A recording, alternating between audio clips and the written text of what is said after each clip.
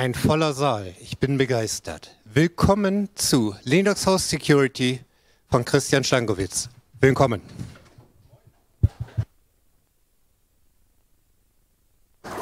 Dankeschön. Ich glaube, es waren noch nie so viele Leute in einem, in einem Talk. Also es ist auch äh, für mich ein Highlight, dass, dass, der Saal so voll ist. Also vielen Dank schon mal an euch, dass ihr hergekommen seid, zu so fortgeschrittener Stunde. Euch noch mit Linux Security beschäftigen zu wollen, finde find ich super.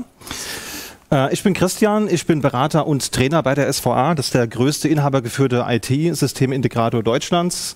Und da bin ich vor allen Dingen in den Bereichen Linux, Virtualisierung, Infrastructure as Code und Automation unterwegs. Also ich bin ein sehr fauler Mensch, deswegen finde ich alles, was man manuell machen muss, kann man einmal machen, aber spätestens beim zweiten Mal sollte man schon überlegen, ob man das nicht irgendwo in den Automatismus gießt, weil dann habe ich mehr Zeit, Katzenvideos zu gucken und auf der anderen Seite die Wahrscheinlichkeit, dass ich irgendwo einen Flüchtigkeitsfehler mache, die ist dann doch geringer. Ich glaube, das kommt euch sicherlich bekannt vor und das gilt natürlich auch für Security Hardening. Und darum soll es heute gehen.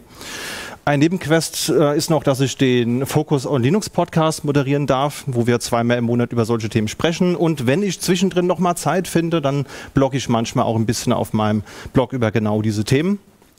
Aber heute soll es ja um Linux und Security gehen. Wir werfen mal einen kurzen Blick auf die Agenda. Wir sprechen gleich erstmal eingehend so ein bisschen über die Motivation. Warum machen wir das Ganze? Was sind so typische Grundlagen, womit man mal beginnen kann, um so ein System grundlegend abzuhärten? Ähm, dann zeige ich euch neben den Basics noch ein paar weitere Tools und mein persönliches Highlight ist das Tool DevSec. Kennt das jemand von euch schon zufällig? Deswegen seid ihr hier, das finde ich super. Beim nächsten Mal gehen dann vielleicht mehr Hände hoch. Aber ähm, beginnen wir vielleicht erstmal, warum sollte man überhaupt ein Linux-System absichern? Linux ist doch sicher. Oder könnte man jetzt behaupten, dem ist aber leider nicht ganz so. Linux-Systeme sind vor allen Dingen im Serverbereich super populär und werden da auch immer populärer. Ähm, kleiner Fun Fact: 80 Prozent der Webserver werden unter Linux betrieben. Das äh, ist so ein Fakt, den man mal so stehen lassen kann. Und mehr als 50 Prozent der Azure Workloads sind Linux Workloads. Also ich rede von der Microsoft Azure Cloud das zeigt halt, ähm, selbst bei einem Microsoft-Anbieter ist Linux ein großes Thema. Ähm, von daher, Linux ist schon lange kein Nischensystem mehr. Wir haben das 30-jährige Jubiläum von nicht allzu langer Zeit gefeiert. Und gerade wenn wir mal so, so Themen gucken wie IoT, das ist in der Regel ja Linux-basiert. Das bedeutet natürlich im Umkehrschluss, dass dadurch das Interesse für Angreifende natürlich interessanter wird. Ja, wenn irgendjemand so eine tolle IoT-Haustürklingel hat und man da irgendwie reinkommt, dann kann man dann natürlich allerhand Schabernack mit anstellen. Und das große Problem ist auch, dass Standardinstallationen in der Regel nicht sicher sind. Also ich dachte, naja, wenn ich mir so ein Ubuntu installiere oder ein CentOS oder whatever, dann wird das ja wohl schon sicher sein. Wir werden sehen, dem ist nicht ganz so. Und oftmals müssen AdministratorInnen so ein bisschen den Trade-off definieren. Will ich mehr Sicherheit, habe ein System, das sicherer ist, aber schwieriger zu benutzen ist? Oder hätte ich gerne ein System, das komfortabel zu benutzen ist für meine Anwendenden, aber vielleicht nicht ganz so sicher? Das ist zumindest die Situation, in der ich mich oft befinde. Geht es euch auch so? Sehe ich einige traurige Gesichter, die nicken. Und äh, ja, das Jahr des Linux-Desktops kommt sicherlich noch. Also spätestens, wenn wir irgendwann auch mal alle Linux auf dem Desktop haben, müssen wir auch grundlegend über das Thema Security vielleicht noch mal reden, dass es uns vielleicht nicht ganz so geht wie dieser Sicherheitskontrolle. Also ganz so schlimm ist es nicht, kann ich euch versichern, aber ähm, so soll es halt auch nicht aussehen. Glücklicherweise ist es ja so, dass wir unter Linux viele Möglichkeiten haben, unser System zu härten. Wir haben zum Beispiel, wir können sinnvolle Grundeinstellungen vornehmen. Wir haben so tolle Techniken wie SE Linux und AppArmor. Wer hat schon mal SE Linux deaktiviert? Traut euch. Da gehen sehr viele Hände hoch. Ich verstehe das, aber es ist eigentlich keine gute Idee, das zu tun. Ich verstehe aber, wenn man sagt, man will erstmal ein funktionsfähiges System haben und denkt darüber nach, aber man kann es ja auf Permissive Mode setzen, statt es hart zu disablen. Dann kann man sinnvoll damit arbeiten, sieht aber trotzdem noch, wo eventuell die Probleme begraben sind. Ja, dann gibt es die Möglichkeiten, das will ich euch später auch zeigen, eine automatisierte Härtung nach Best Practices vorzunehmen. Damit bin ich bisher immer in Projekten ganz gut gefahren. Und so Dinge wie, dass man vielleicht automatisch IPs sperrt, die Schabernack betreiben. Das sollte eigentlich auch Uso sein, denn dann ist man zumindest ein bisschen grundlegend gesichert. Und auch ganz, ganz wichtig, testen, testen, testen. Wer von euch hat alles eine Testumgebung für die Dinge, die ihr tut? Da gehen ein paar Hände hoch, aber nicht alle, weil ich glaube, wir alle kennen das Problem. Es gibt so Systeme, die sind irgendwie prot gegangen, sind super wichtig, aber Budget für eine Testumgebung war dann halt irgendwie alle. Naja. Aber dazu später. Kommen wir mal zu den Grundlagen. Paketauswahl. Also das sind jetzt alles so ein paar Facts, die ich aus Projekten euch mal zusammengetragen habe. Äh, ich denke, weniger ist mehr, ist glaube ich bekannt. Ja, das heißt, es ist vielleicht sinnvoll, eine minimale Paketauswahl zu verwenden. Also jetzt vielleicht nicht alle 15.000 Pakete, die es so gibt, auf so einem System zu installieren. Weniger ist da manchmal doch mehr. Und auch keine GUI auf Servern installieren. Wer von euch macht SAP oder muss SAP machen? Da geht eine Hand hoch, ja, ein paar mehr. Äh, warum auch immer, ich weiß es nicht, was der Hintergrund ist, oder zumindest kann ich es nicht genau verifizieren. Ähm, wenn man sich einen SAP oder einen SAP HANA installiert, hat man automatisch eine grafische, eine vollwertige grafische Umgebung mit, mit GNOME, mit keine Ahnung was. Ich glaube, es hängt mit dem SAP GUI zusammen, damit man lokal mal den SAP GUI testen kann das ist jetzt halt nicht so unbedingt eine schlanke Softwareauswahl, wenn man einen vollwertigen GUI hat mit einem LibreOffice drauf. Ist aber der Standard, wenn man es Less for SAP macht oder generell SAP auf Linux macht. Das ist bei RHEL, glaube ich, genauso. Also das nach Möglichkeit vermeiden. Auf den Server gehört keine GUI und nicht benötigte Pakete kann man auch deinstallieren. Guckt einfach mal, wenn ihr so ein System installiert habt, wie viele Pakete brauche ich wirklich? Sind da vielleicht ein paar Libraries drin oder ein paar Tools, die nice to have sind, die ich aber eigentlich nicht tagtäglich brauche? Wenn ja, löscht sie. Und auch der Klassiker, man sollte keine Pakete aus nicht vertrauenswürdigen Quellen installieren. Also sowas wie, ich suche eine tolle Bibliothek und die finde ich auf irgendeinem kuriosen Server in kyrillischer Sprache und da ist irgendwie eine Datei und die installiere ich einfach mal. Das kann man schon so machen, aber ist jetzt vielleicht nicht die beste Idee. Oder auch so Klassiker wie, ich brauche eine Library für eine Debian-Maschine, finde aber nur ein Paket für einen Ubuntu-Server. Ubuntu und Debian sind ja ziemlich gleich und da könnte man ja auf den Gedanken kommen, sich einfach das Ubuntu-Paket auf den Debian-Server zu installieren. Das kann gut gehen, kann aber auch massiv nach hinten losgehen. Also nach Möglichkeit, wie hier äh, die Person auf der rechten Seite, ähm, auch so Sachen wie, man hat irgendeine sketchy URL, macht einen Curl drauf und routet das direkt in die Root Shell. Das klingt für mich auch eher nach, wie mache ich mein Leben spannender. Deswegen immer ein ordentliches Repo dafür benutzen. Ansonsten habt ihr auch die Möglichkeit, regelmäßig Updates zu installieren. Und das sollte auch der Default sein. Also ein System, das Stand heute sicher ist und alle Updates hat, das muss morgen nicht der Fall sein. Deswegen sorgt dafür, dass ihr regelmäßig Updates installiert. Ich weiß, in größeren Firmen hat man da häufig mal die Diskussion, Wartungsfenster ist da so ein, so ein böses Wort, was man im Kontext gerne äh, hat. Habt ihr alle regelmäßige Wartungszyklen oder ja, gehen auch einige Hände hoch? Das ist ja immer so ein Kämpfen gegen Windmühlen. Ja, also ich kenne das aus eigener Erfahrung. Beim ersten Job war ich auch für eine Sublandschaft mitverantwortlich und ich habe wirklich am 1. Januar schon direkt quartalsweise die Wartungstermine geblockt und alle Sub-KollegInnen drauf eingeladen, damit man einfach sieht, okay, das sind die Daten, die sind gesetzt und bitte versucht nach Möglichkeit da auch zur Verfügung zu stehen, dass wir sicherstellen können, dass die Maschinen da sind. Also es ist ein unfassbar ermüdender Prozess, aber versucht das bei euch wirklich zu etablieren. Denn es bringt nichts, äh, wenn ihr einen tollen Server habt, den ihr aber nur einmal im Jahr patchen könnt, weil ihr sonst keine Downtime bekommt. Das äh, bringt dann halt einfach nichts. Dann kann das System trotzdem relativ einfach gehackt werden. Was man da auch machen kann, wenn es das Ganze zulässt, man kann auch automatisiert Updates installieren lassen. Für Debian-basierte Maschinen gibt es da das Unattended Upgrades-Paket, das vielleicht dem einen oder der anderen bekannt ist. Für Red Hat-artige Systeme gibt es Yamcron oder DNF Automatic. Und äh, da könnt ihr einfach so Dinge machen, wie das zum Beispiel Security-Patches automatisiert installiert werden, aber jetzt neue Features oder Bugfixes müssen manuell von euch getriggert werden. Das ist ein, eigentlich ein gängiger Kompromiss, dass man sagt, naja, okay, wirklich ganz wichtige und eklatante Sicherheitslücken kann man dann doch möglichst einfach automatisiert schon schließen. Das nächste Thema, Firewall. Ich glaube, dass man die nicht deaktivieren sollte, dürfte niemandem von euch ein, ein Novum sein. Auch da eine sinnhaftige Konfiguration vorzunehmen, sollte sich von selbst verstehen und das natürlich auch über, überprüfen. Ja, also da ist es auch gut, wenn man Testsysteme hat.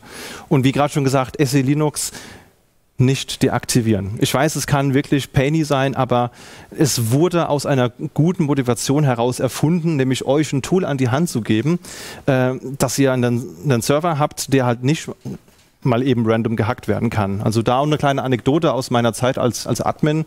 Wir hatten da einen, einen Webserver, auf dem eine sehr naja, selbstgestrickte Anwendung lief, die mehr Berechtigung benötigte, als sie eigentlich haben sollte. Und es hat sich herausgestellt, äh, dass das keine gute Idee ist, auf dem System SE Linux zu deaktivieren. Das habe ich auch mehrfach gesagt. Ähm, wie das oft so ist, wurde aber entschieden, es wird deaktiviert, damit eine Mailing-Funktion zur Verfügung steht, die für den Kunden ganz wichtig ist. Und es hat genau zwei Tage gedauert und wir wurden von sämtlichen Mail-Relays geblockt, weil Spam verschickt wurde über unsere Maschine. Also seitdem weiß ich auch, SE Linux blockt sehr viel, aber meistens hat das auch einen guten Grund, warum da viele Dinge geblockt werden. Also tut euch und der Nachwelt einen Gefallen und versucht wirklich einen Weg zu finden, damit umzugehen. Das war am Anfang ziemlich painy. Mittlerweile gibt es ziemlich viel vorgefertigte Module die auch einfach funktionieren und man kommt auch mit dem Logging mittlerweile gut raus und sieht dann halt auch, welche Dinge nicht funktionieren und kann sich selbst eigene Regeln bauen. Da werde ich jetzt nicht im Detail drauf eingehen, weil sonst wäre das ein Drei-Stunden-Talk statt ein Ein-Stunden-Talk. Vielleicht kann man das mal als neue Idee auffassen, sich mal Deep Dive mit SED-Jungs zu beschäftigen. Ansonsten, was ihr niemals tun solltet bei Dateisystemen chmod 0777, wer hat das schon mal gemacht?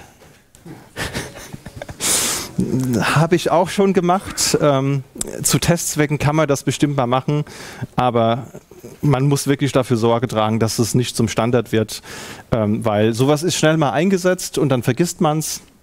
Und schwuppdiwupp hat man irgendwo einen Dienst, der dann doch auf eine Datei schreiben darf, wo er eigentlich nicht hinschreiben sollte. Das heißt, wenn ihr merkt, ihr kommt mit dem klassischen Berechtigungskonzept nicht zurande, was passieren kann, äh, kein Problem, dafür wurden ACLs erfunden, die halt alle gängigen Dateisysteme mittlerweile können. Generell vermeidet auch ZDuit und ZGit Bits und ähm, was auch eine gute Idee ist, einfach dedizierte Partitionen einzusetzen, damit euch, wenn die Platte vollläuft, wir alle kennen das, eine Applikation, die mehr loggt, als sie sollte.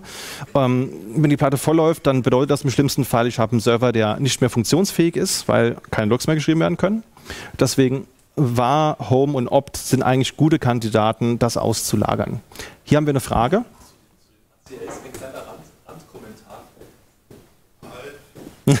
halt. Zu den ACLs ein kleiner Randkommentar. Ähm, kann das Backup-System dann auch ACLs? Klassische Beraterantwort, it depends. Äh, also normalerweise sollte das Backup-System das abkönnen, aber es steht und fällt natürlich mit der Software, die ich einsetze und äh, muss natürlich auch die Konfiguration validieren. Also ich habe jetzt schon länger keine Backup-Server mehr installiert, aber ACLs gibt es seit 20 Jahren, glaube ich, in XFS und so weiter würde ich hoffen, dass es so drin ist, aber der, die Anmerkung ist wirklich Gold wert. Guckt da noch mal rein, redet mit, mit euren Backup-KollegInnen und lasst es noch mal gegenprüfen. Das, äh, bitte? Die Hoffnung ist schon tot, ja. Kann ich nachempfinden. Ja. Vielleicht findet sich ja doch jemand, der mit dir drüber gucken kann und dann kann man ja nur mal drüber schauen, ob ACLs unterstützt werden.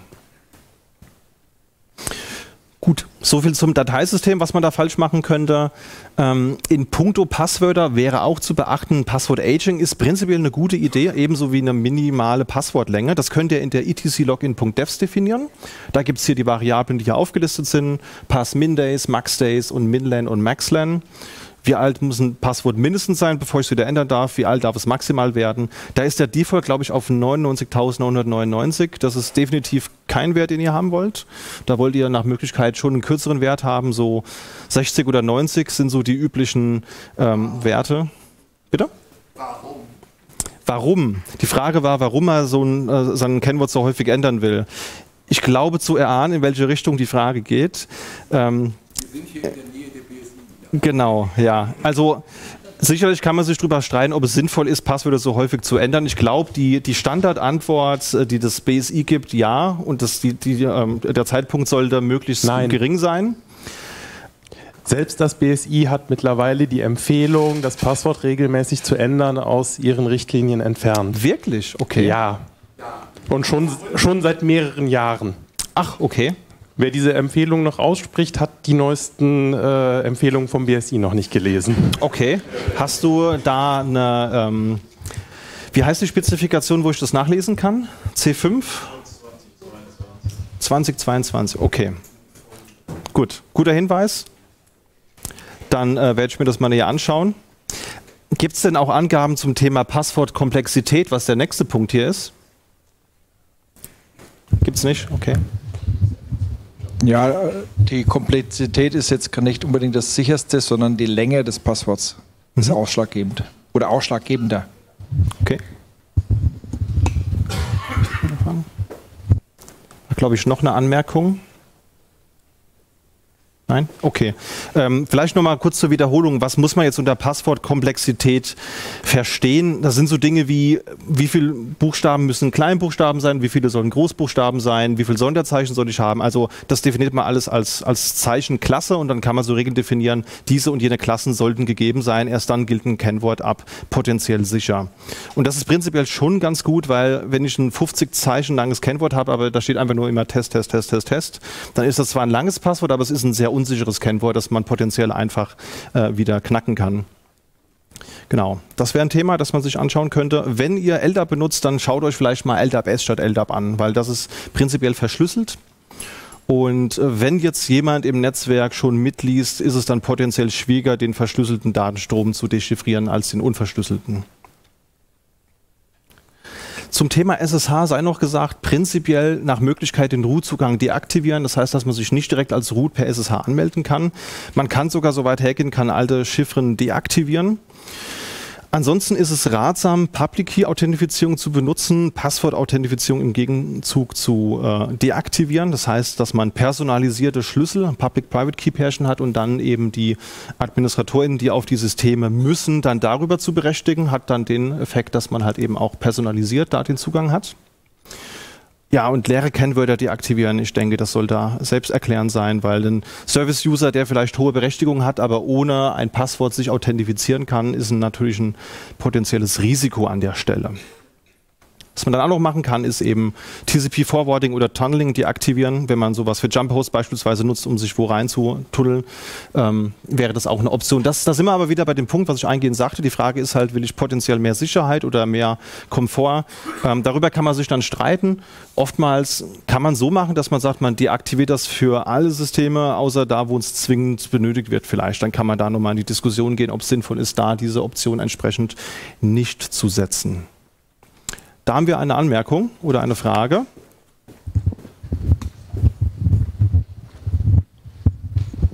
Ähm, nach letzter oder vorletzter Woche sollte man auch das SSH, SSH Agent Forwarding ausschalten. Okay. Was ist da passiert? Da gab es einen Bug in SSH. Ah, okay. Sehr gut.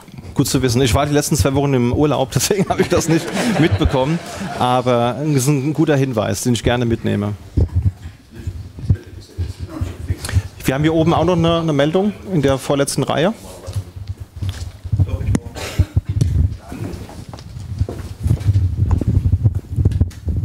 Also am besten einfach das Agent Forwarding komplett ausschalten, weil wenn man sich zum Beispiel zu GitHub oder sowas verbindet, sendet dort auch äh, der SSH-Client den Agent hin und theoretisch auf nicht vertrauenswürdigen Systemen ist damit auch ein Zugriff möglich, was der Agent kann, sobald man rein auf den Socket Zugriff bekommt.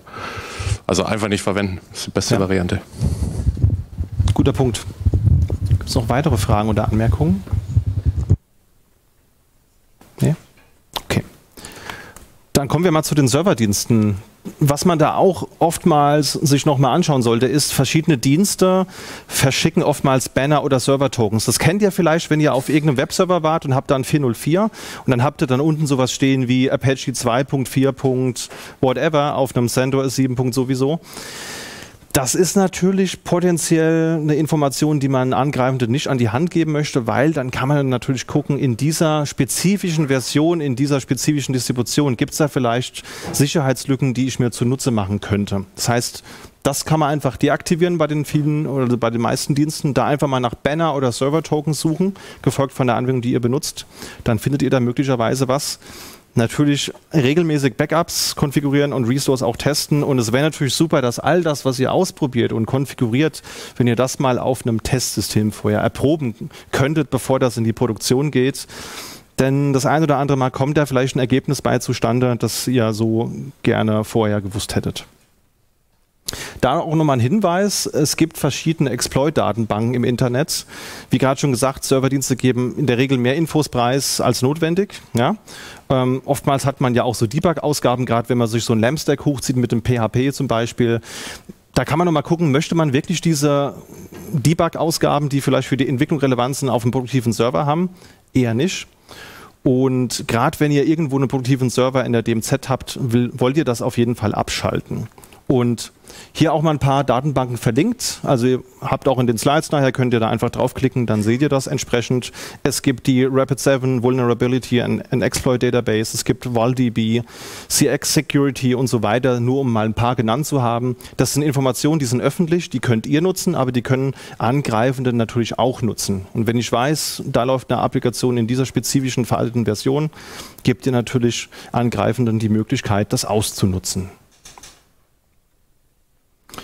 Kommen wir mal zu ein paar weiteren Tools, die sinnvoll sein können, um so ein System abzuhärten. Und eins, was man sich da angucken kann, ist das Tool 8. Das ist das Advanced Intrusion Detection Environment.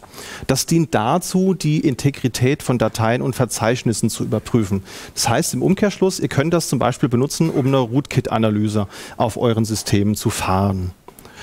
Das erstellt nämlich im Umkehrschluss einfach eine Datenbank mit kryptografischen Prüfsummen eurer Konfigurationsdateien auf eurem System. Ja? Und da seht ihr eben, welche Dateien sich geändert haben. Das heißt, man kann dann so einen Grundjob zum Beispiel definieren, der euch dann regelmäßig zum Beispiel täglich sagt, was sich geändert hat. Und dann seht ihr, wenn auf einmal eine Konfigurationsdatei, die ihr definitiv nicht geändert habt, einen anderen Hash habt, dann ist das eine gute Möglichkeit, mal das Restore zu testen und die vorherige Version der Konfigurationsdatei wieder auszurollen. In der Konfigurationsdatei von 8 definiert ihr, welche Dateien und Verzeichnisse überprüft werden sollen. Und da gibt es auch Flags, die dann so Dinge definieren, wie zum Beispiel, wollt ihr Berechtigung überprüfen oder Änderungen an der Datei? Ist der Benutzer oder die Gruppe der Datei relevant für euch? Kann man sehr fein granular definieren. Und es gibt auch Templates, die die Regeldefinition ein bisschen erleichtern sollen. Ja, also das regelmäßig ausführen ist auf jeden Fall eine gute Idee auf produktiven Systemen. Und Abweichungen werden dann halt eben aufgelistet und man kann auch einen Mail-Report entsprechend konfigurieren. Wir haben eine Frage in der Runde. Ja, äh, RK Hunter ist deprecated. Bitte? RK Hunter. Rootkit Hunter. Okay. Das Tool. Sagt mir nichts. Suchen, finden von Rootkits. Okay. Ist das deprecated? Und das war die Frage, weil du hast es nicht angesprochen. Okay. Das Tool sagt mir nichts, ne? Also. Es ist alt, so alt wie ich. Das kann gut sein oder kann auch schlecht sein.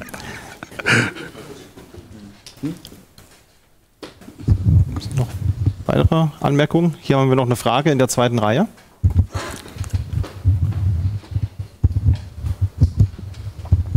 Ähm, ja, was Rootkits angeht, äh, da war eigentlich meine Idee, dass sich Rootkits nicht im Dateisystem einnisten, sondern eher auf Read-Only-Memory.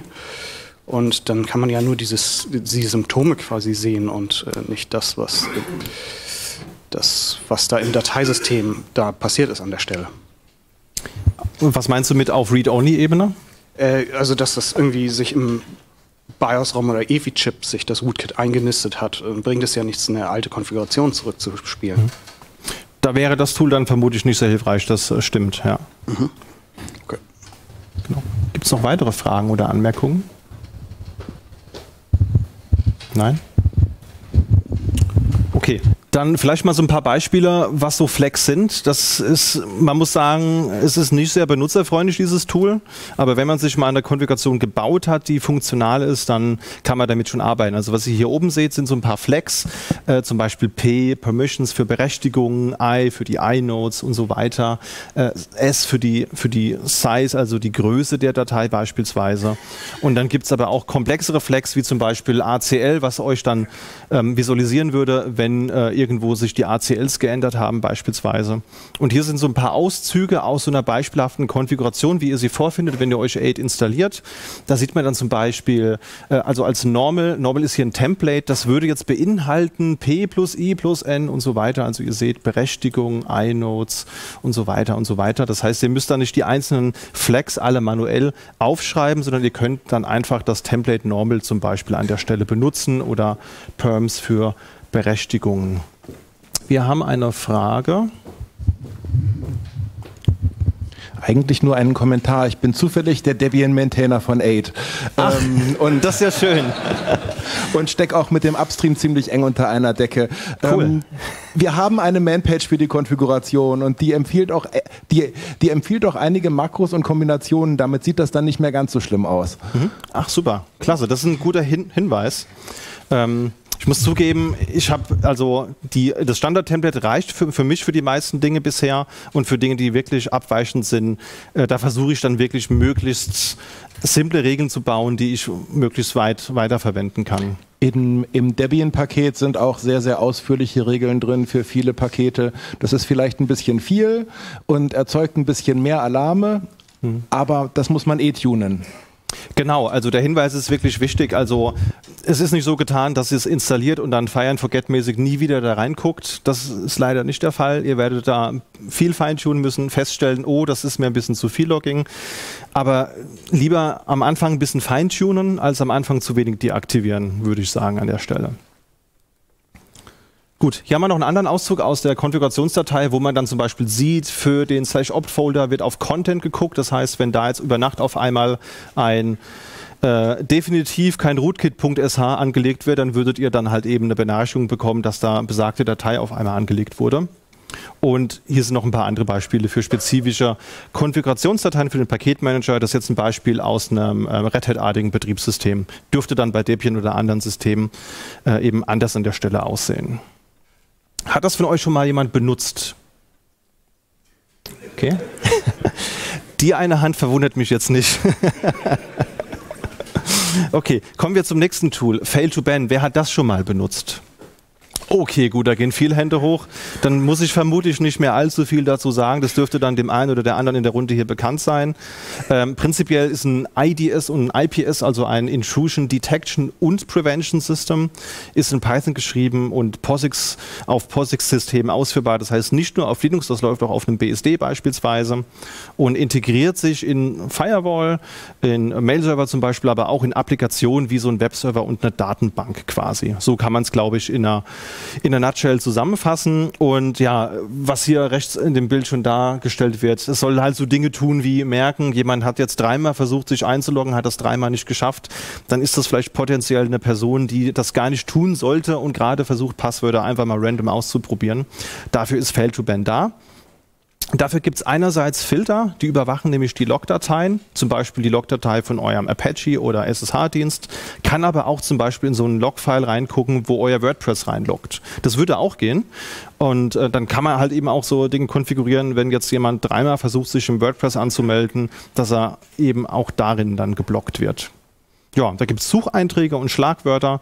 Wer Spaß daran hat, kann sich da mit regulären Ausdrücken bis zum Umfallen beschäftigen. Das geht auch.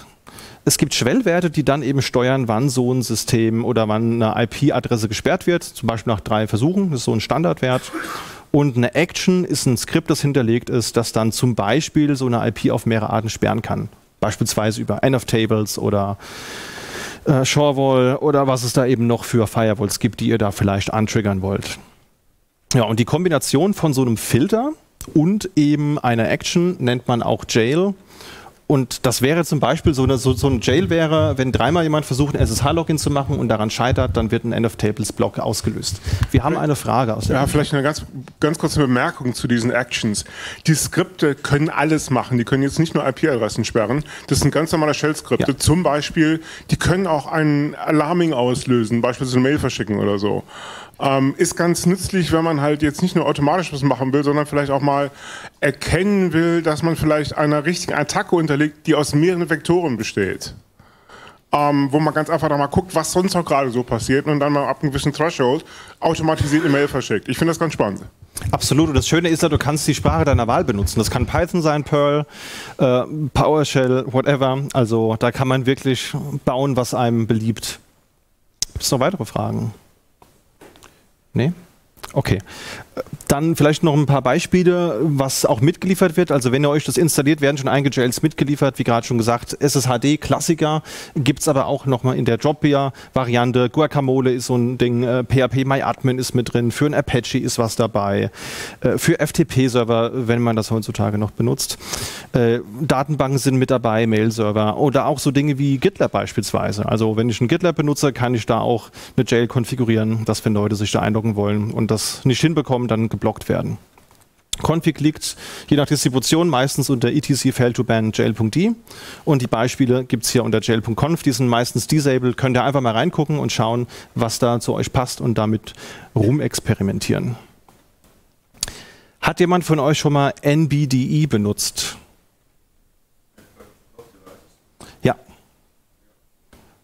Gut, gehen einige Hände hoch. Ich habe mir das neulich das erste Mal angeschaut im Rahmen äh, einer, einer äh, Prüfungsvorbereitung. Spannendes Thema ist die Network Bound Disk Encryption. Und das ist eine Erweiterung für Lux-Geräte, wenn ihr das Eingeben der Passphrase vermeiden wollt.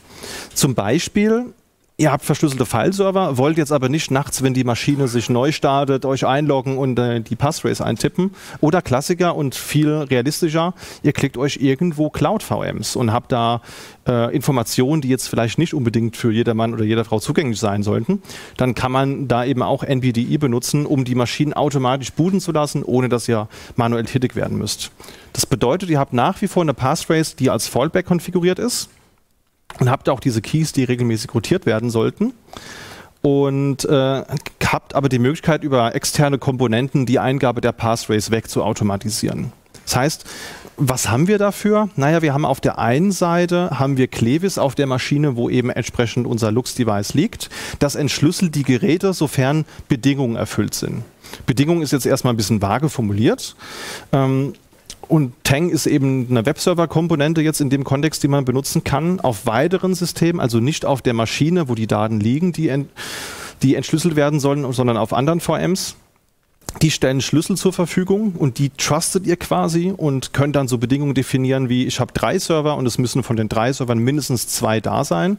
Und wenn diese Bedingung erfüllt wird, dann kann eben das äh, Device entschlüsselt werden. Und ein Framework, was man hier zum Beispiel nutzen kann, ist das, ich weiß nicht, ob das jetzt Joes oder José ausgesprochen wird, äh, ist ein Framework für die Fair- und Entschlüsselung von äh, Webtoken. Und äh, ja, das kann man in dem Kontext benutzen. Hier kleiner Side Note nochmal. Lux-Geräte können bis zu 8, wenn ihr Lux 1 benutzt, oder 32, wenn ihr Lux 2 benutzt, Schlüssel enthalten. Und NBDI nutzt genau dieses Verhalten. Das heißt, ihr habt einer Passphrase als Fallback, die ihr halt weiterhin benutzen könnt, aber habt weitere Passphrases, die halt eben über dieses Setup von Clevis und Tang reingeschrieben werden. Ja, also es ist ein weiterer Schlüssel, der quasi automatisiert getrustet wird und zur Entschlüsselung benutzt werden kann. Gibt es jemanden, der noch nie Lux benutzt hat? Da gehen ein paar Hände hoch. Überhaupt nicht schlimm. Kleiner Exkurs nochmal. Lux ist das Linux Unified Key Setup und das ist eine Spezifikation zur Fair- und Entschlüsselung von Block-Devices als Container, was Linux eben mitbringt. Das heißt, es gibt das Kernel-Modul, das heißt dmcrypt und das könnt ihr verwenden, um eben äh, diese Fair- und Entschlüsselung zu implementieren. Das benutzt auch in der Regel die AES-Beschleunigung der CPU. Also CPUs haben ja schon seit sehr langer Zeit AES-Beschleunigung, nutzt man ja auch für VPN-Tunnel und so weiter. Und dadurch ist Lux unabhängig vom verwendeten Dateisystem. Ja, und da gibt es halt eben hier drei Kommandos. Das ist das CryptZ-Kommando. Ihr seht, mit Lux Format kann man ein Block-Device formatieren. Mit Open kann man es dann öffnen unter Angabe der Passphrase und mit Lux Close könnt ihr es entsprechend wieder schließen. Wir haben eine Frage hier aus der drittletzten Reihe.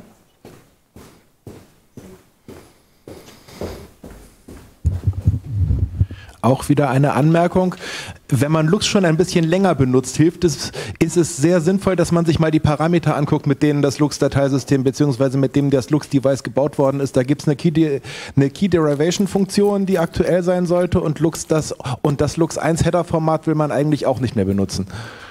Guter Hinweis, ja. Also es gibt auch verschiedene ähm, Algorithmen, die man benutzen kann, um den Container zu bauen. Ähm, genau, da einfach gerne mal die Mainpage reingucken. Ich wollte jetzt ähm, nicht zu sehr in Details verfallen.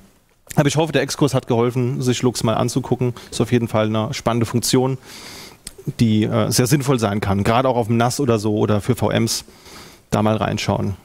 Genau, kommen wir kurz zurück zu NBDE. Ähm, wie wird das Ganze benutzt? Hier haben wir ein Beispiel von einem REL-artigen System. Naja, ich installiere auf den weiteren Systemen eben meine Tank-Server. Dann habe ich ein Socket, was ich aktiviere und muss in der Firewall auch den HTTP-Dienst freischalten und einmal neu laden. Und schon habe ich dann diesen Dienst aktiviert und auf dem System, das ich hier benutzen will, oder wo das Volume ist, das ich entschlüsseln will, automatisiert, installiere ich einmal hier Clevis, Clevis Lux und Clevis Dracut, damit es auch in die Init-RAM eingebaut wird, denn wir wollen ja beim Booten keine Passphrase eingeben. Wir haben eine. Du hast schon vorgegriffen. Dracut ist eine gute Dokumentation mit Clevis und, und wo man das auch mit Reddit ab Version 9 produktiv benutzen kann. Ja, das ist ein guter Punkt. Äh, wenn man das neueste REL benutzt, ist es ein bisschen anders, als es bei REL 7 und bei REL 8 ist. Habe ich auch später nochmal die ähm, Links zur Doku verlinkt, also schau da gerne mal rein. Je nach Version muss man da ein bisschen extra Schritte teilweise noch einbauen. Genau. Wenn ihr das installiert habt, jetzt wird es ein bisschen hässlich, aber lasst euch davon nicht abschrecken. Es gibt verschiedene Policies. Ja, also die gebräuchlichste ist SSS, das ist Shamir Secret Sharing. Und da könnt ihr eben so Dinge definieren, dass ihr zum Beispiel von zwei Servern müssen zwei da sein und vertrauenswürdig sein, dann kann ich das Volume automatisiert entschlüsseln. Warum auch immer ist das eine Konfiguration, die in der JSON-Notation vorgenommen wird und warum auch immer ist es die Empfehlung der Dokumentation, das über eine Variable direkt in die Kommandozeile einzutragen. Deswegen sieht das hier so ein bisschen hässlich aus. Ihr seht, das ist eine Shell.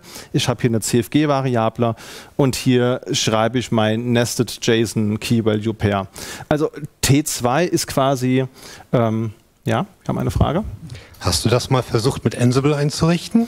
Das macht keinen Spaß. Das macht keinen Spaß, aber das, das Schöne ist, Red Hat hat da eine Ansible-Rolle geschrieben und die funktioniert ganz, ganz gut. Ja. Also ich habe die noch nicht auf Nicht-REL-System ausprobiert, also ob es auf dem Debian funktioniert, weiß ich nicht, müsste man mal testen. Aber das ist so ein Kandidat für, wie mache ich mein Leben spannender, hast du absolut recht. Ja. Also was man hier so sieht, T2, also zwei müssen getrustet werden, dann habe ich hier einen Pin und dann sage ich hier einmal diese URL, das ist mein einer Server, wo eben hier die Secrets äh, zu finden sind und hier der zweite. Und wenn ich das gemacht habe, dann muss ich halt auch noch so Dinge tun wie äh, einen Lux-Bind auf das Device machen unter Angabe dieser Policy, wo wir hier halt eben SSS benutzen. Wir haben hier noch eine Anmerkung in der ersten Reihe unter Angabe der Konfiguration kann ich dann diese Konfiguration auf ähm, das Device anwenden. Äh, ohne es jetzt verifiziert zu haben, aber ich habe eine Vermutung, warum es in JSON ist. Wahrscheinlich wird es in den Lux-Header geschrieben. Das ist korrekt, ja. Aber wo Und der, der Lux-Header ist in JSON. Ach, okay. Das ist natürlich naheliegend dann. Okay. Aber es wäre trotzdem schön, wenn man so einen so ein, so ein Tool hätte, das mir das ein bisschen erleichtert, das mit verschiedenen Shell-Parametern einzutippen, statt halt so ein String zu schreiben, weil ich habe das gemacht mal und habe irgendwo ein fehlendes Komma gehabt. Habt ihr schon mal versucht, ein fehlendes Komma mit einem JSON-Lint daraus zu finden? Wenn ja, wie viele Haare habt ihr dabei verloren? Also, Debugging macht wirklich überhaupt keinen, keinen Spaß, kann man sagen. Dann hier Red Hat spezifisch, wenn ihr das, die Konfiguration gebindet habt an das Lux-Device, müsst ihr auch einmal nochmal hier eine Systemd-Unit, die für einen Pfad zuständig ist, enablen, sonst kommt das beim Booten nicht hoch. Ja, eine weitere Anmerkung? Und an dieser Stelle nicht drüber wundern, dass trotzdem die Anfrage oder die Abfrage auf der äh, Konsole kommt. Sie wird nur automatisch beantwortet. Richtig, genau. Das muss man auch erstmal rausfinden, weil man macht dann natürlich einen Reboot, weil wir gucken, funktioniert das. Hat dann so eine Eingabe, ist erstmal genervt, ärgert sich, warum es nicht funktioniert hat, fängt an zu tippen und bevor man den, den ersten Tastendruck ausgelöst hat, ist schon der Login-Prompt da. Also das ist auch nochmal eine ganz wichtige Info. Funktional ja, Usability kann man hier, glaube ich, eindeutig überarbeiten nochmal. Und was ihr dann auch noch machen müsst, ist natürlich, es gibt die ETC Crypt Tab und die ETC FS Tab. Die müsst ihr natürlich noch ein, noch anpassen, damit das Volume auch dann ähm, beim Booten automatisch gemountet wird. Weil ihr habt ja irgendwo einen Pfad, wo, das, wo die Files liegen, die ihr da sehen wollt, müsst ihr dann entsprechend nochmal angehen. Wir haben eine weitere Anmerkung. Ich bin mir jetzt nicht sicher, ob du noch darauf zu sprechen kommst, aber weil die Usability hier irgendwie nicht so schön ist, gibt es auf neueren Systemen ja auch die Möglichkeit, ähm, das Skript mit dem TPM zu entschlüsseln, dass der Key quasi im TPM gespeichert wird und dann den nur freigibt, wenn, das, wenn die Hardware nicht modifiziert wurde. Gibt's auch, ja. Habe ich mir noch nicht angeguckt, weil es halt ein nicht so ganz triviales Thema ist. Wie du schon sagst, TPM ist halt auch schon ein Thema, wo man vermutlich stundenlange Talks überführen könnte. Und es gibt ja TPM auch in mehreren Versionen. Und ist auch teilweise ein bisschen abhängig, je nachdem, wie meine Maschine konfiguriert ist. UEFI ist da immer ein großes Thema. Hast du damit schon mal gearbeitet? Ja, ich habe das eingerichtet und es ist mittlerweile alles in Systemd drinnen und eigentlich nur noch ein Kommando. Also richtig Oh. super. Ja. Cool. Wonach muss ich suchen? Was äh, ist der beste? Äh, Systemd Crypt Enroll. Okay, cool. Danke für den Hinweis. Es sei denn, du hast ARM-Systeme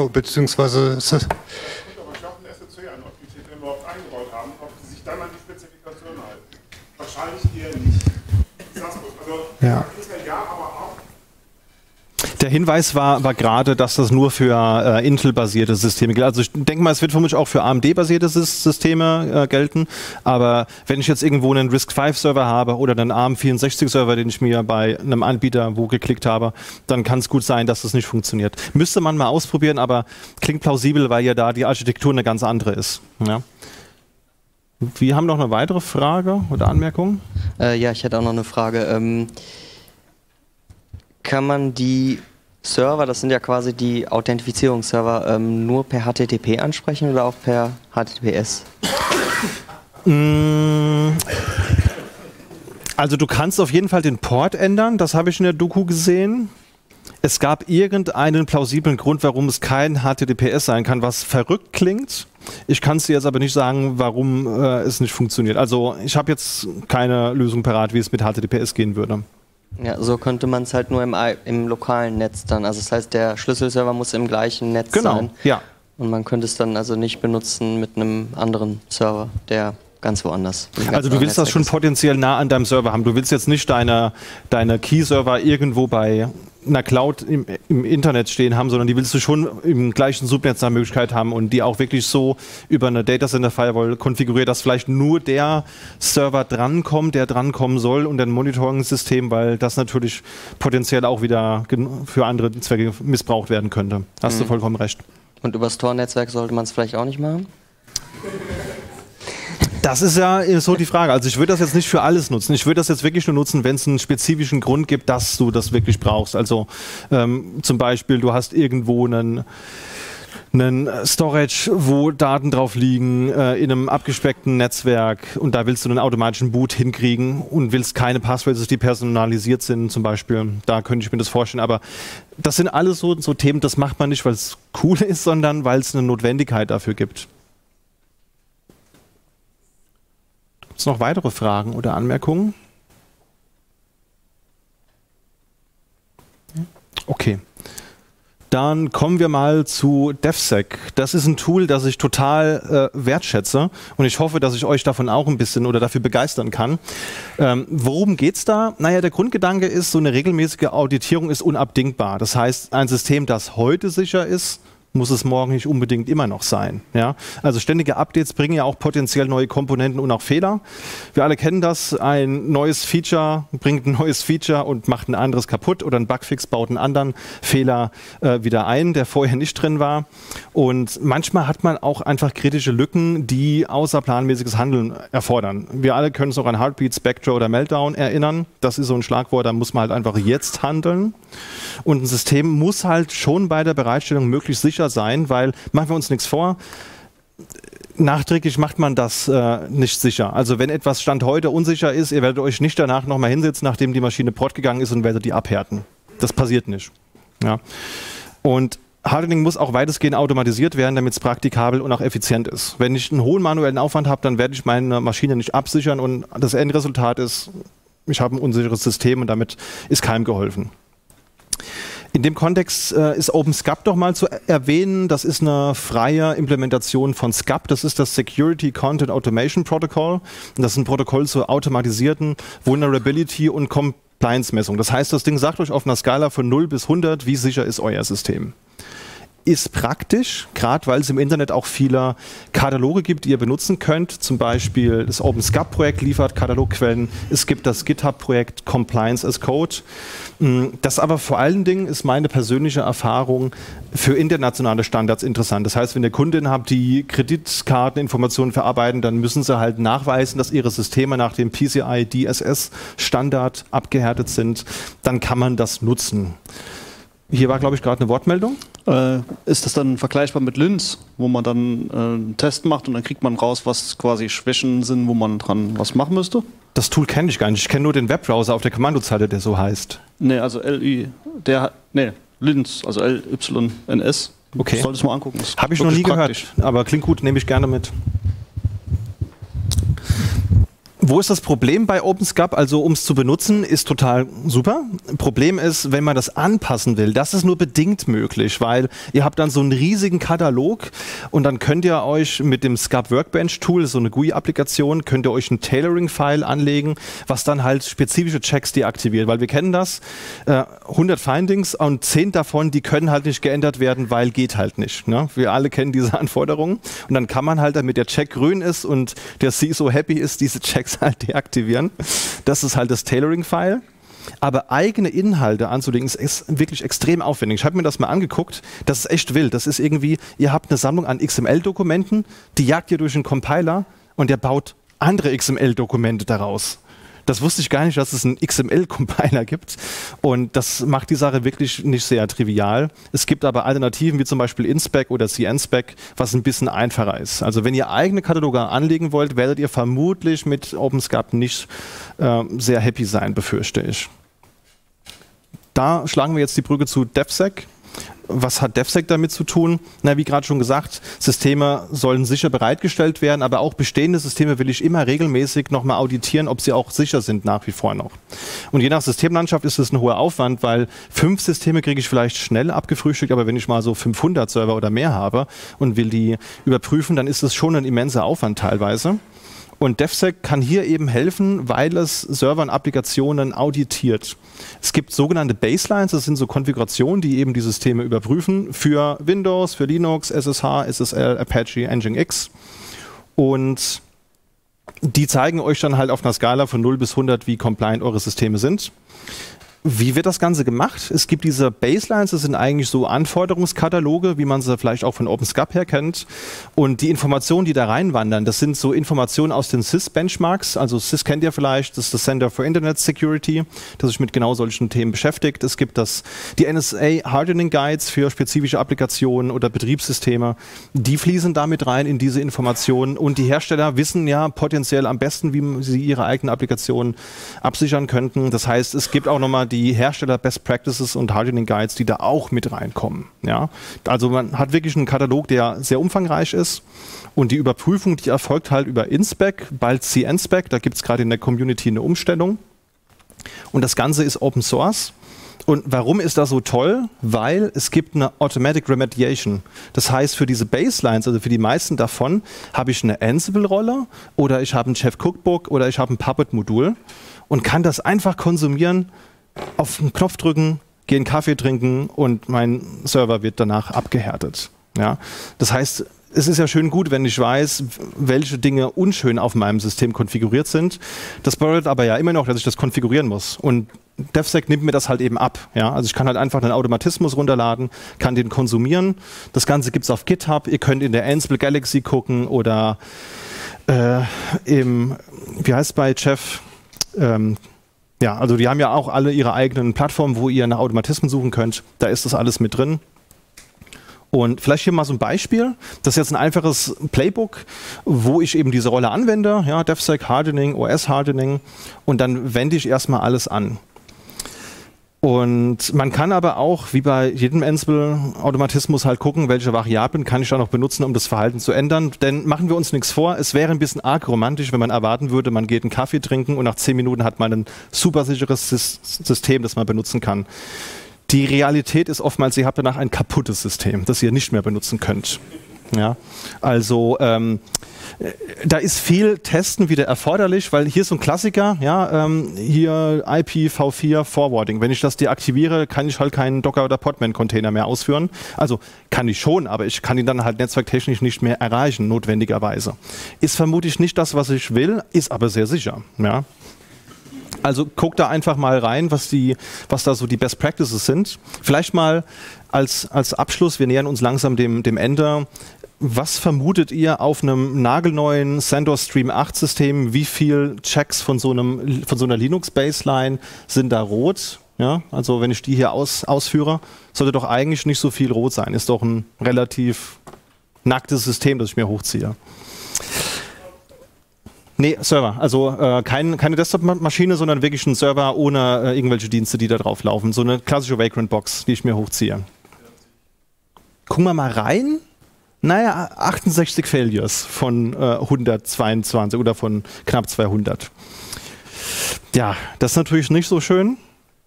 Aber wenn ich den Automatismus ausführe, und das ist das, was wir hier sehen, wir haben ein Ansible-Playbook, das dann eben Dinge tut und konfiguriert. Das Playbook macht ja auch gleich noch andere Dinge, Aid und so weiter, weil ich habe all das, was ich euch erzählt habe, habe ich euch mal in den Quellcode gegossen und auf GitHub hochgeladen. Dürft ihr gerne selbst ausprobieren und für euch experimentieren. Und wenn ich es danach nochmal neu ausführe, dann sieht es halt besser aus. Dann sind es auf einmal nur noch drei Failures. Und in meinem Fall war das so, das waren irgendwelche CPU-Firmware-Bugs, wo ich für irgendwelche Memory-Angriffe verwundbar bin. Und es ist natürlich klar, die VM kann halt nicht die Firmware meiner CPU patchen. Erst recht nicht, wenn es für die CPU keine Firmware-Updates mehr gibt. Ja. Aber das ist dann schon eher das, was man sehen möchte, dass möglichst viel grün ist und dann kann man über die letzten ähm, Findings nochmal diskutieren und drüber gucken, was da schiefgelaufen ist. Und das benutze ich konsequent einfach für sämtliche Projekte, auch im Homelab. Und ähm, damit hat man wirklich 100% gibt es nie, das wissen wir alle, aber wirklich einen Großteil der Findings hat man erschlagen und für alles Weitere kann man dann nochmal mit anderen Tools dran gehen. Noch ein paar Best Practices. Ähm, wie schon gesagt, testen ist ganz wichtig. Führt die Rollen erst auf euren Testsystem aus. Erprobt das auch mit anderen. So 4, 6, 8 Augen-Prinzip ist da sehr sinnvoll. Anwendungen werden sehr wahrscheinlich nach der Herdung nicht mehr funktionieren. Versucht herauszufinden, wieso und teste das immer mal in die Doku reingucken. Und wenn ihr sagt, ich habe hier 500 Server und ich will jetzt nicht hier für 500 Server mir so eine hässliche Konsole angucken, was legitim ist, guckt euch mal das Heimdall 2 Projekt an vom MIT RE. Die haben dafür eine Web-GUI gebaut. Da könnt ihr einfach den, den Report, also das kann man sich auch als XML oder JSON exportieren und dann macht die GUI so ein schönes Dashboard draus, das man auch dem CISO zeigen kann. Und ganz wichtig, Version Pinning. Ja, also gerade wenn man irgendwelche Automatismen aus dem Internet benutzt, nie ungetestet eine neue Version der Hardening-Rolle ausführen. Habe ich einmal gemacht, hat mir die Produktion zerschossen, muss ich nicht nochmal haben. Also, beim, um beim Beispiel von Ansible zu bleiben, legt euch eine Requirements.yaml an, äh, macht da Version Pinning, sagt hier, ich habe jetzt heute diese Version der Rolle ausprobiert. Wenn eine neue Version der Rolle rauskommt, testet das in eurer Testumgebung und wenn das funktioniert, rollt ihr sukzessive auf die Produktion aus. Und ja, also da auf jeden Fall Testing eine wichtige Sache. Genau, hier der Link zum GitHub Repository, da könnt ihr gerne mal reingucken. Ähm, da ist zum einen drin, um das mal kurz zu zeigen, ähm, so, da ist halt ein Vagrant-Box dabei, dass ihr euch das angucken könnt. Es ist ein Ansible-Code dabei, äh, der dann entsprechend einmal das System härtet und dann aber auch Aid konfiguriert, Firewall konfiguriert und so weiter. Ist ja alles wirklich Step-by-Step Step, ähm, dokumentiert. Ihr braucht halt mindestens 8 Gramm oder so, um meine VM auf eurem Rechner hochzuziehen. Ähm, Guckt es euch gerne an, wenn ihr da Feedback habt. Also Ideen, äh, PRs sind da immer willkommen. Ähm, ja, das wollte ich an der Stelle anmerken. Und ich glaube, wir haben noch eine Wortmeldung gerade irgendwo gehabt. Genau, hier vorne.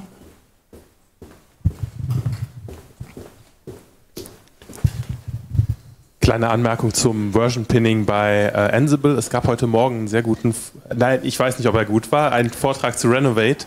Mhm. Äh, das ist ein Tool, um automatische Versionsupdates als äh, Pull Request oder Merge Request, je nachdem welches äh, Git-Hoster man benutzt, mhm. äh, für Projekte äh, einzubringen und das funktioniert auch für Ansible-Rollen.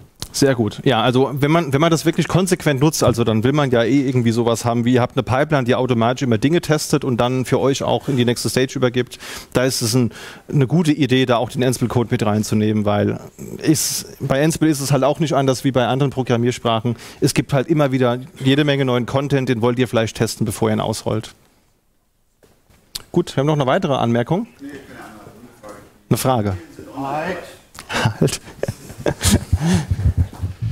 Die Folien sind online zu bekommen, ne? Die sind online zu bekommen. Ich würde jetzt direkt nach dem Talk hochladen, weil ich habe jetzt kein Typo gefunden. Ihr habt mich auf keinen Typo hingewiesen, also kann ich das PDF hochladen. Merci. Ja, ähm, genau. Und wie gesagt, auch gerne da Feedback dalassen. Und ansonsten wäre ich damit fertig. Am Ende noch ein kleiner Hinweis, wenn euch Themen wie das interessiert, alle zwei Wochen eine Podcast-Episode, also am Ende des Monats immer News des Monats oder in der Mitte des Monats äh, thematische Folgen, wie zum Beispiel auch über Konferenzen, über NixOS haben wir zum Beispiel euch eine Folge gehabt, das ist auch heute hier ein großes Thema auf der Konferenz gewesen. Gibt es überall da, wo es Podcasts gibt. Hört gerne rein und ansonsten, wenn ihr keine weiteren Fragen mehr habt, möchte ich mich ganz herzlich für das tolle Feedback und die Fragen und die Aufmerksamkeit bei euch bedanken.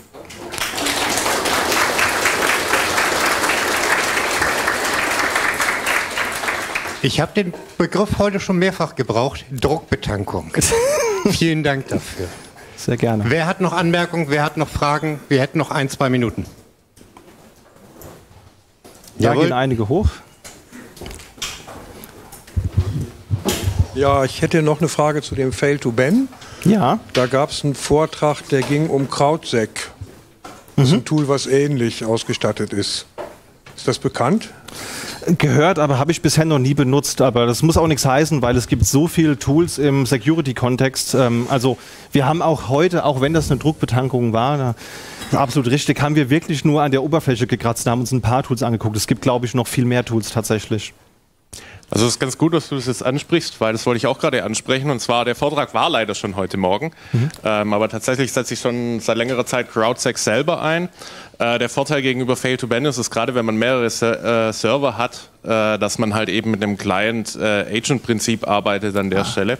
Und damit auch die Möglichkeit hat, über eine Local API dann zum Beispiel äh, die Bans auf der einen Maschine auch auf der anderen Maschine auswirken zu lassen. Oh. Das ist eine ganz gute Sache und zusätzlich gibt es da auch noch eine Central API, die optional verwendbar ist, wo man äh, dann auch zum Beispiel in der Community mit teilnehmen kann, wo dann eben auch andere reporten können, dass Sachen, also dass eine IP zum Beispiel blockiert worden ist. Und das ist die modernere Variante von Fail to Ban, würde ich sagen, und nutzt anstelle von Regular Expressions auch Grok.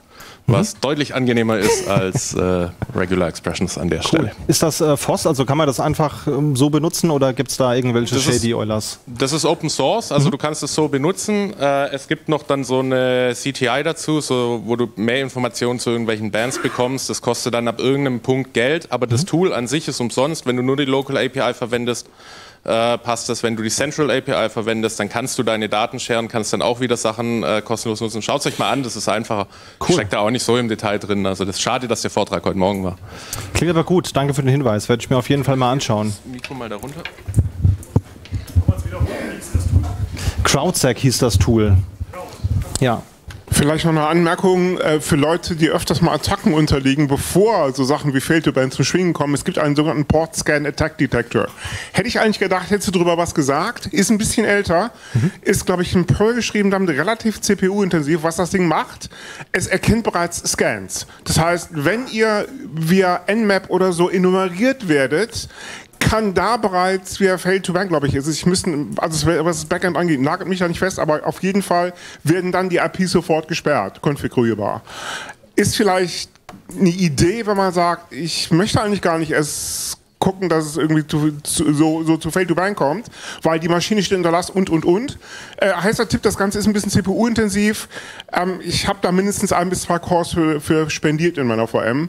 Ähm, nur für diesen Zweck, um da halt, wie gesagt, so ein bisschen die Last von Fail to Bank zu nehmen. PSAD nennt sich das. Cool, danke für den Hinweis. Verzeiht mir, Zeit ist um. Christian, großes Genau. Dankeschön. Sehr gerne, danke für die Aufmerksamkeit.